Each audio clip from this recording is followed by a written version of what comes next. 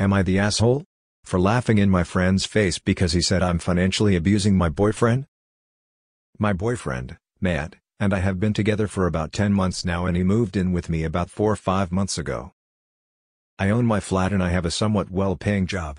Matt just went back to school part-time, meanwhile working a lower-paying job. He pays for half the food utilities dates. I like to travel a lot, but Matt can't really afford it, so I mostly go with my friends, but he came with us for a little winter holiday after Christmas. After we got back, one of my friends David, who was with us too, came to me saying he wants to talk to me about Matt. David told me that he observed Matt during our vacation and what I was doing to him really wasn't okay. He saw that Matt was struggling to pay for things, often checking if he had enough money.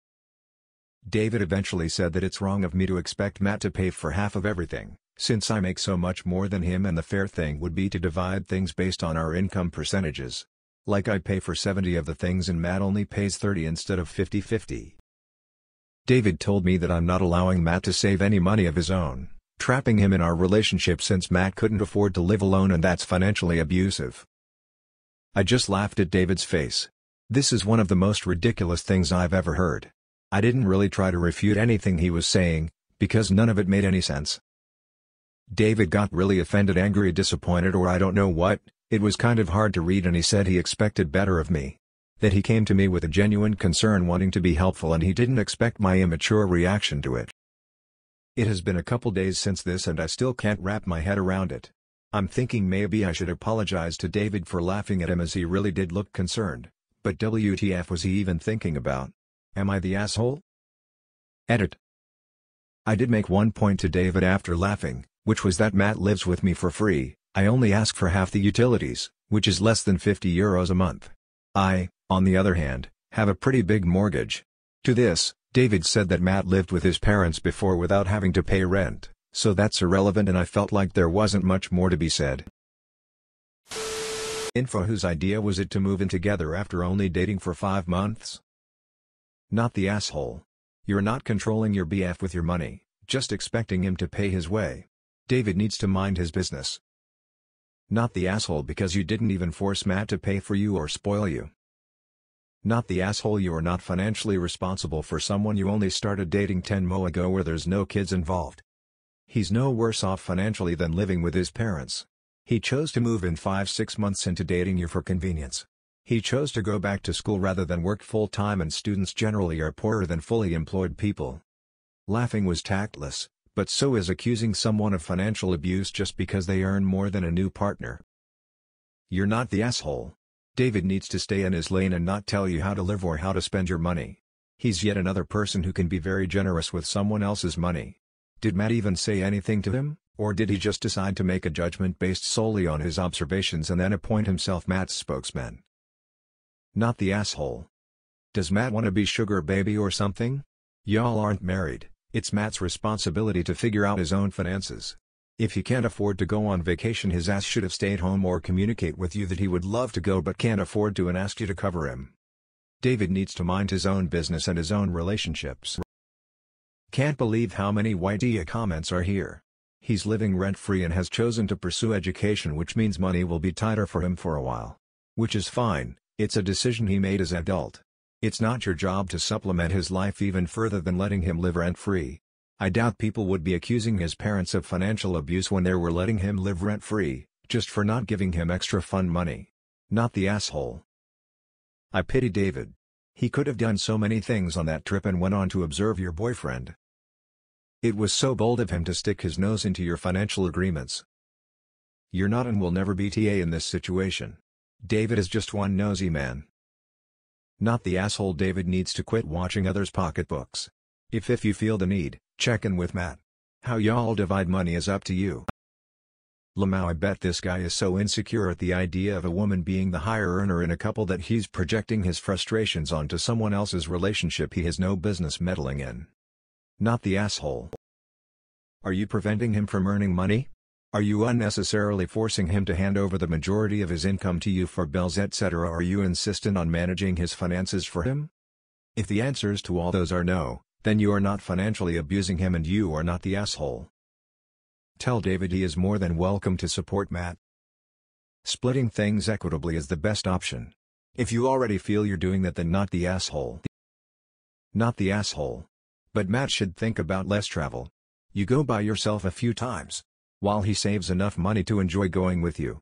Instead of worrying about spending his last buck every trip. If you're meant to last this shouldn't be a deal breaker. If Matt had an issue he should bring it up. Who is David to talk about your financial business especially when you and Matt aren't married thus splitting finances? Not the asshole. Not the asshole, and frankly a couple's financial agreement is no one else's concern. I've lived one rent-free and paid for half of meals out he paid his mortgage with a BF despite absolute disparities in income 2 paid all the rent while X paid groceries and utilities he supported a child and now pay all of our common expenses and support my husband we paid half each of our last long holiday. The common denominator is that in all three relationships we both agreed to the financial arrangement. Maybe check in with BF to see if all is okay regarding your agreement. Not the asshole. He contribute half to the utilities. He contributes nothing to the mortgage. I'd say the financials are already split by percentage with OP paying like 80-90 of living costs. David is out of line. Not the asshole. Not the asshole. As a man, 50-50 is what it should be anyway. This whole percentage of what you make BS is just a way for someone to excuse taking advantage of someone else. Not the asshole. If you were a married couple, I'd say David was right. A lot of married couples change spending based on what a person makes. However, you're not married. You don't have any financial obligations to him.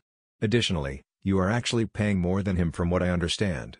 He's paying half of utilities, groceries, and dates, but is not paying rent. Not the asshole unless you pressure him to go or spend extra when there. Not the asshole if you were charging rent along with utilities then your friend would be right it would be fair to do percentages but you are not asking for anything towards your property and are halving everything else, this likely means he has more available funds that if you went the route, yes he doesn't have much money but you are supporting him enough he can go back to study to improve his earning potential. That is not financial abuse and I wonder if your friend is projecting from their own past experience. Not the asshole. Not the asshole. You don't charge him rent. David is completely wrong about what he thinks is actually happening. Not the asshole this is a weird convo to have.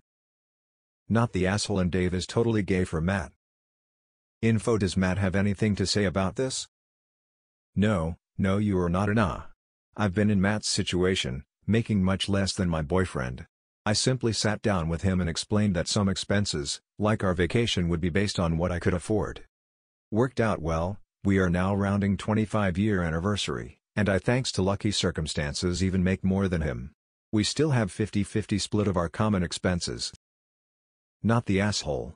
No one saves money when they are working and going to school. They are a new couple less than a year together. It's unusual for someone to give such a new partner free rent, so what is David's issue? Not the asshole you let him live with you for free. Depending on where you live what can be anywhere from $700, 1000 month savings. Whether he paid rent to his parents before living with you is irrelevant. What you could do is take all your shared bills mortgage included add them up and split in half. Then show he pays X per month when you could by all rights ask why amount. You could even show what the 70-30 split he suggested would look like and show you are still saving him money. Of course it is truly none of his business but since he wants to accuse you of abuse you can prove this is not the case. Not the asshole. He's in school and you're not married. Why invest in something that might not pan out and he loves rent-free? What more do they want from you? Not the asshole if David is so worried about it he can rescue your boyfriend from your evil clutches and he can pick up the financial slack not coming for your BF with my attitude re financial slack, just for David. Not the asshole. If it was truly a problem, Matt is a grown man and can bring it up himself. Does he not really work? Because if he's only paying for food and utilities, I don't see how he could be struggling with money when he's barely spending any. Not the asshole you chose to share your home with your adult partner, not adopt a child. This says a lot more about your friend than yourself. Nah. You're not abusing him, but David wasn't an off for thinking you might be, merely wrong. Although I'm not sure flagging it up to the potential abuser is a good idea, so he was a dumbass two ways. Not the asshole, but it is what it is. I think your friend wanted you to be a little more generous to Matt, but it is not a responsibility you have. Not the asshole I was going to say otherwise until I read that he isn't paying you rent. If he is paying for only half food utilities and dates, That seems fair to me. Now, if you are expecting him to take you to extravagant dinners constantly, that would not be fair. However, I do not think there's anything wrong with him paying half since you're paying full rent. An appropriate response, you're in the clear.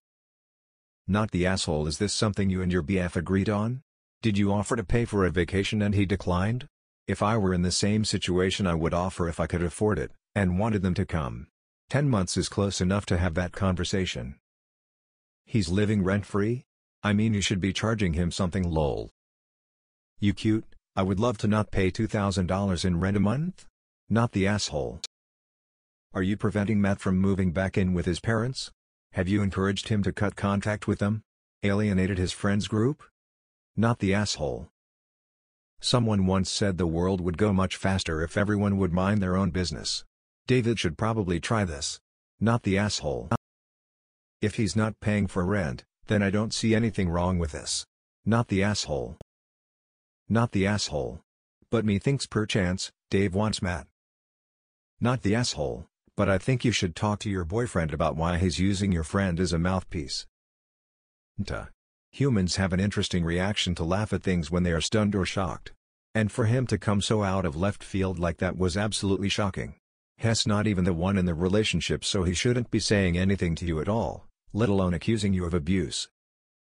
Not the asshole because of your Reddit comment saying Matt doesn't help with the mortgage and lives rent-free. This makes things more than fair.